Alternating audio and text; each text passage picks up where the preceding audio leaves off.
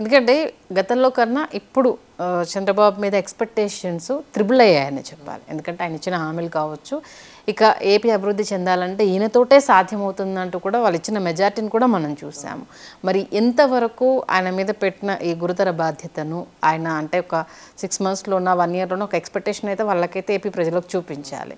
దీన్ని ఎలా హ్యాండిల్ చేస్తారు? అంటే ఇది ఫస్ట్ స్టెప్ ఇప్పుడు పోయి మోడీని మోడీ దగ్గర ఆయన ఏమేమి తీసుకురాగలుగుతాడు అనే దాన్ని బట్టి నెక్స్ట్ కోర్స్ ఆఫ్ యాక్షను ఆయన మీద నమ్మకం కానీ ఇప్పుడు ఏదైనా సరే చేస్తాడని నమ్మకం ఉంది. కానీ హ్యూమన్లీ ఇంపాసిబుల్ టాస్క్స్ కూడా కొన్ని ఉంటాయి. అంటే జనరల్గా నాయకుడు అనేవాడు కావాలంటే నాయకుడు మహిమలు చూపిస్తేనే నాయకుడు అవుతాడు. అంటే రిలీజియస్ లీడర్ కానీ పొలిటికల్ లీడర్ కానీ ఇప్పుడు మొన్న ఆయన కూడా అసలు గెలుస్తాడో లేదో వైఎస్ఆర్సీపీకి అరవై వస్తాయి యాభై వస్తాయి అందరూ లెక్కలు చెప్పారు. సడన్గా నూట అరవై నాలుగు వచ్చేదానికి అంటే ఒక రకంగా మహిమ చూపెడతాం. అంటే ఇప్పుడు కూడా ఇప్పుడు చంద్రబాబు నాయుడు ఆ రోజుల్లో మహిమ చూపించి సైబర్ సిటీ కట్టాడని కొంతమంది ఆయన అభిమానులు అనుకుంటారు. ఆయన కూడా చెప్పుకుంటారు. అట్లా ఇప్పుడు ఏదైనా కొత్త మహిమలు చూపిస్తే కానీ మళ్ళీ ఆయన లీడర్షిప్ బలంగా నిలబడదు. అంటే మీ ఉద్దేశం ప్రకారం ఎలాంటి మహిమలు అవి ఇప్పుడు? ఎలాంటి మహిమలు అంటే డబ్బులు తీసుకురావటమే. ఇప్పుడు అక్కడి నుంచి నిధులు తను ఏదైతే పెట్టుకున్నాడో పోలవరం కానీ అమరావతి కానీ లేదా మిగతా సంక్షేమ పథకాలు కానీ అంటే గతంలో చంద్రబాబు నాయుడు యాటిట్యూడ్ అంతా he is a market economy he believes in market economy and ఈ దేశంలో ఇప్పుడు ఆర్థిక సంస్కరణలకు పోస్టర్ బాయ్ ఎవరంటే ఆ రోజుల్లో ఎస్ఎం కృష్ణ చంద్రబాబు నాయుడు ఇంకో ఆయన ఉండేవాడు మధ్యప్రదేశ్ లీడరు ఆయన కాంగ్రెస్ లీడరు. ఆయన పేరు మర్చిపోయాను. ఇప్పుడు వీళ్ళందరూ పోస్టర్ బాయ్స్. వాళ్ళందరిలో కూడా ఈయన ఎక్కువ.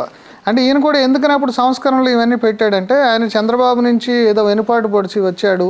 అంటే ఈయనకు ఒక ఐడెంటిటీ స్పెషల్ ఐడెంటిటీ లేని పరిస్థితుల్లో ఏం చేశాడంటే ఒక మోడర్న్ పాలకుడు కింద ఆ రోజు సింగపూరు డెవలప్మెంట్ని చూసి సింగపూర్లో ఉండే వాళ్ళ ఆ నాయకుల్ని వాళ్ళని ఆదర్శంగా తీసుకుని ఆ జన్మభూమి అని అదని ఇదని కొన్ని పథకాలు పెట్టి అట్లాగే ఈ రిఫార్మ్స్ అంటే ఏదైతే పిఎస్యూలని ఇప్పుడు అదే దాని దానివల్ల కూడా ఆయన అధికారం కోల్పోయాడు. విద్యుత్ సంస్కరణలు తీసుకురావటం బషీర్బాగ్ ఉద్యోగం రావటం అంటే ఆయనకి రెండు అయినాయి. అంటే మైనస్ అయింది ప్లస్ అయింది.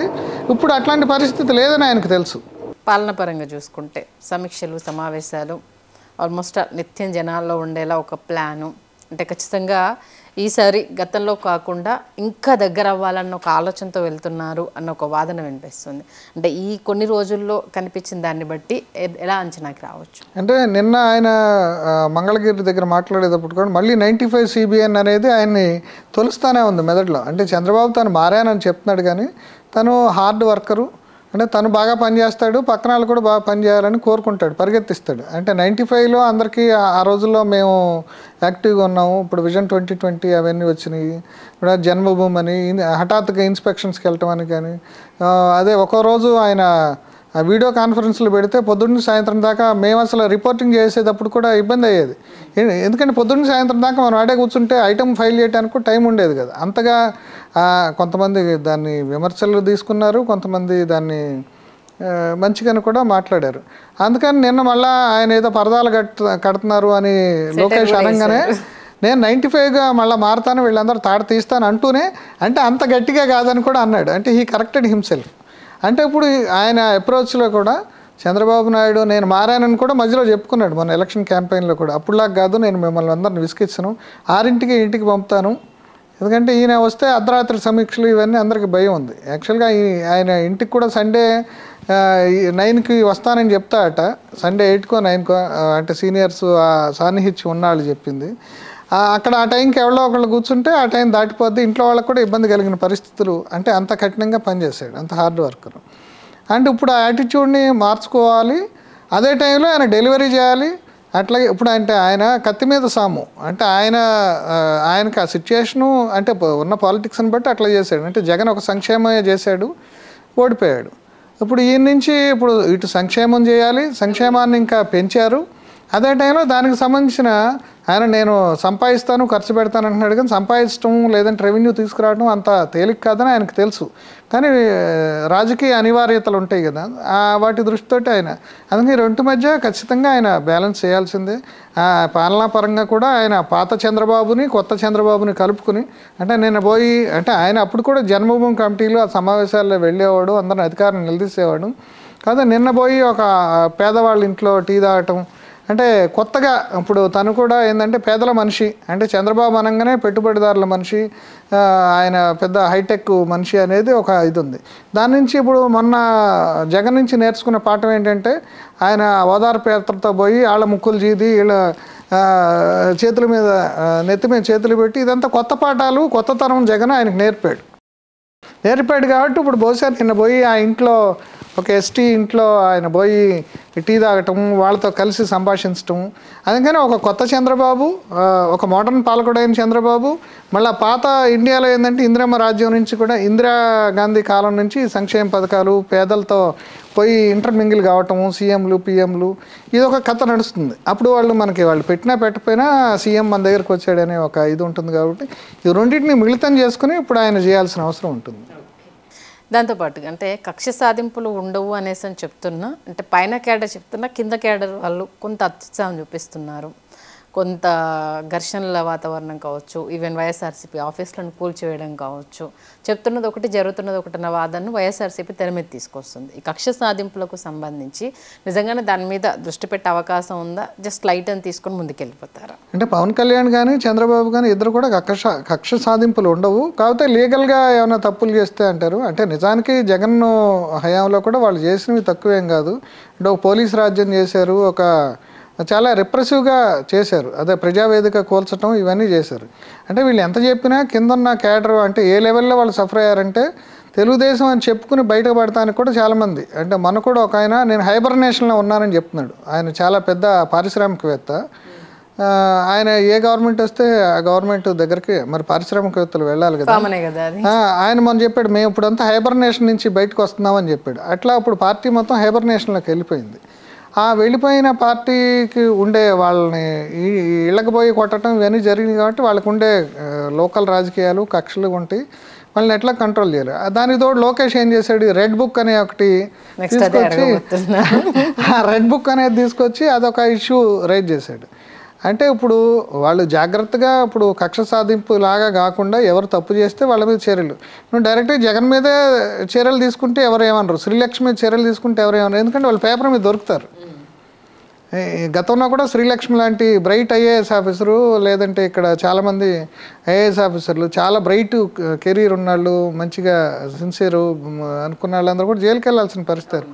నువ్వు అట్లా పంపిస్తే ఎవరు ఆక్షేపించరు. ఎందుకంటే because it's all going in the court of law procedure ప్రకారం వెళ్ళిపోతుంది జరుగుతుంది. అట్లా కాకుండా చిల్లర తగాదాలు ఇవి కూడా పైన ఉన్న క్యా పైన ఉన్న నాయకులు వీటిని అవాయిడ్ చేయడం కూడా కష్టమే.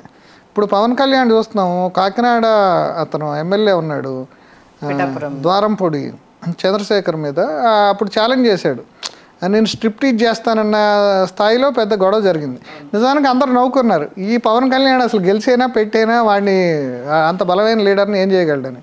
ఇప్పుడు వాళ్ళ తిత్తి తీస్తున్నారు. ఏంటంటే ఇప్పుడు వాళ్ళు ఎందుకంటే వాళ్ళు దొరికారు. వాళ్ళు క్లియర్ కట్ ఎవిడెన్స్ ఉంది కాబట్టి అది దాన్ని చూసినప్పుడు పాలసీ పరంగా వెళ్తున్నారు అనేది దాన్ని ఎవరు తప్పబట్టలేరు ఎందుకంటే అక్రమంగా బియ్యం తరలిస్తున్నారు మనకు మన సంపదను తీసుకెళ్తున్నారు అనేది.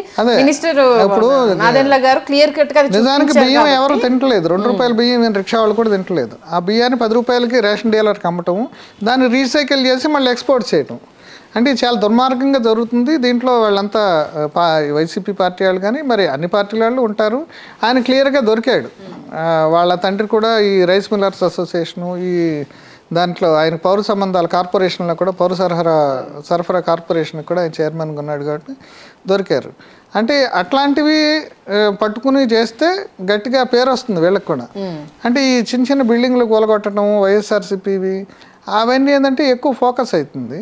అది కొంచెము చూసుకోవాలి. వాళ్ళు కూడా చూసుకుని అంటే వాళ్ళ కంట్రోల్లో కూడా ఉండదు. లోకల్గా జరిగే ఎందుకంటే మరి అప్పుడు నన్ను కొడితే నువ్వు పట్టించుకోలేదు కదా అంటారు. అంటే ఒక స్టేజ్లో చంద్రబాబు లోకేష్ పవన్ కళ్యాణ్ రోడ్డు మీదకి వచ్చేదాకా ఎవరు కూడా ఇప్పుడు ఈవెన్ పవన్ కళ్యాణ్ కూడా చాలాసార్లు సభలు జరగకుండా వెనక్కి తిప్పి పంపటం హైదరాబాద్ వస్తుంటే అదే హైదరాబాద్ నుంచి విజయవాడ వస్తుంటే ఆయన్ని ఫ్లైట్లోనే వెనక్కి పంపటం ఇవన్నీ జరిపారు. అంటే ఇవన్నీ కార్యకర్తల మనసులో ఉంటాయి అందుకని వాటిని వీలైనంత వరకు అదుపు చేయటం వీలైనంత వరకు జాగ్రత్తగా చూసుకోవడం చేస్తే గట్టిగా చేయండి. అట్లాగే నిన్న ఏబిఎన్ రాధాకృష్ణ ఇప్పుడు ఆయన చంద్రబాబుకు సన్నిహితుడు కాబట్టి ఆయన కూడా సలహా ఇచ్చాడు. అంటే మీరు అక్కడ మంత్రులు ఎమ్మెల్యేలు ఎట్లా చెలరేగిపోయారో అట్లా చెలరేగకుండా ఎలా పరిపాలన చేయాలో దానికి సంబంధించిన బ్లూ బుక్ తయారు చేసుకోమని ఆయన కాలంలో సలహా ఇచ్చాడు. అంటే ఎవరైనా సరే విఘ్నులైన వాళ్ళు ఎవరైనా సరే వాళ్ళ వైపునున్న వాళ్ళ వాళ్ళని సమర్థించే వాళ్ళైనా వాళ్ళ స్నేహితులైనా ఇదే చెప్తారు. ఎందుకంటే రిస్క్లోకి పోకూడదు. ఇప్పుడు ఎందుకంటే చంద్రబాబు కానీ తెలుగుదేశం కానీ పవన్ కళ్యాణ్ కానీ చేయాల్సిన పనులు చాలా ఉన్నాయి. ఇప్పుడు నిన్న నేపాల్లో ఎర్రచంద్రం దొంగలు దొరికినాయి అని చెప్పేసి ఆయన పబ్లిక్గా పవన్ కళ్యాణ్ చెప్పాడు. అట్లాంటి ఇష్యూస్లో వాళ్ళు దొరుకుతారు. ఇప్పుడు వాళ్ళు ఎవరైతే వీళ్ళు టార్గెట్ ఎవరైతే ఉన్నారో ఆ పెద్దిరెడ్డి బ్యాచ్ లేకపోతే తిరుపతిలో ఉన్న వీళ్ళ కక్ష సాధింపులకు వెళ్ళకుండా లీగల్ ప్రయారిటీలో వెళ్ళిపోతే ఇష్యూ లేదు. అవును. ఎందుకంటే కక్ష జనాలకు కూడా ఓకే వీళ్ళేమంటే వాళ్ళు దొంగతనం చేశారు దొరకబట్టేశారు కాబట్టి శిక్ష అనుభవించక తప్పదు అన్న ప్రాసెస్లో ఉంటుంది. అవును. ఎందుకంటే దాడులు చేయడము అందులో టీవీ మీడియా వచ్చాక ఆప్టిక్స్ అనేది చాలా ఇంపార్టెన్స్. ఈ కనపడిపోద్ది దృశ్యం కనపడుద్ది. ఏంటి వీళ్ళు కూడా ఇట్లా చేస్తున్నారు నిందాక బాధితులు కదా అని జనంలో కూడా కొంత అంటే అభిప్రాయం. ఇప్పుడు అదే ఆయన రాధాకృష్ణ లాంటాడే వీళ్ళకి బ్లూ బుక్ పెట్టుకుని మీరు జాగ్రత్తగా ఎలా వ్యవహరించాలో మంత్రులు వ్యవహరించండి అని. నేను కూడా ఆయన ఎవరో ఒక రోడ్డు రవాణా మంత్రి భార్య ఎస్ఐని ఏదో ఫస్ట్ టెలికాస్ట్ కూడా తిరువూరు ఎమ్మెల్యే అంటే ఏబిఎన్లో జనరల్గా రాధాకృష్ణ ఆయన చాలా ట్యాక్ట్ఫుల్గా చేస్తాడు. ఆయన ఏమి అంటే వన్ సైడెడ్గా ఆయన ఫస్ట్ ఆంధ్రజ్యోతి పెట్టిన రోజున కొత్తగా ఆయన హ్యాండ్ ఓవర్ చేసిన రోజున ఫస్ట్ రాసిన బ్యానర్ ఏంటంటే చంద్రబాబు నెక్స్ట్ ఎలక్షన్లో ఓడిపోతాడని ఓకే. ఆయన ఓడిపోయాడు. ఓడిపోయాడు ఆ ఎలక్షన్లో అందుకని ఆయన జర్నలిస్ట్గా తన సంస్థని తన క్రెడిబిలిటీని ఇప్పుడు మొన్న షర్మిల విషయంలో కానీ ఏ విషయంలో ఉన్నా సరే ఆయన క్రెడిబిలిటీతోనే దెబ్బ తీసుకోడు. అందుకని అట్లాంటి వాళ్ళు కూడా ఇప్పుడు సలహా చెప్తున్నారు కాబట్టి ఇట్లాంటి వాళ్ళు చాలామంది ఉంటారు. అంటే ఈయన బయట రాశాడు కాబట్టి మన కాలం ఇప్పుడు తెలుగుదేశానికి సంబంధించిన వాళ్ళ అభిమానులు కానీ లేదంటే వాళ్ళు చంద్రబాబు నాయుడు బాగా ఆయన బాగా పైకి రావాలని కోరుకునే వాళ్ళు కూడా ఇవన్నీ జాగ్రత్తలు తీసుకోమని చెప్తారు. అందుకని ఇవన్నీ కొంత అంటే కొంతకాలం ఆ ఉద్రేకాలు ఉంటాయి. అది ఎక్కువ రోజులు కొనసాగకుండా చూసుకోవటం అనేది ఇప్పుడు తెలుగుదేశం పార్టీ నాయకులు కానీ చంద్రబాబు కానీ లోకేష్ కానీ పవన్ కానీ చూసుకోవాల్సిన అవసరం ఉంది. Please do subscribe to Telugu Rajyam channel. Please do subscribe to Telugu Rajyam channel please do subscribe to Telugu Rajyam channel hi అండి నేను మీ ఆర్పీని నెల్లూరు పెద్దారెడ్డి చేపల పులుసు ఓనర్ని. మీరు తెలుగు రాజ్యం అనే ఈ యూట్యూబ్ ఛానల్ సబ్స్క్రైబ్ చేసుకుని మంచి మంచి వీడియోలతో వస్తారు. Thank you so much people, I'm Sonakshi Verma. And uh, you please watch Telugu Rajam and please subscribe to the channel.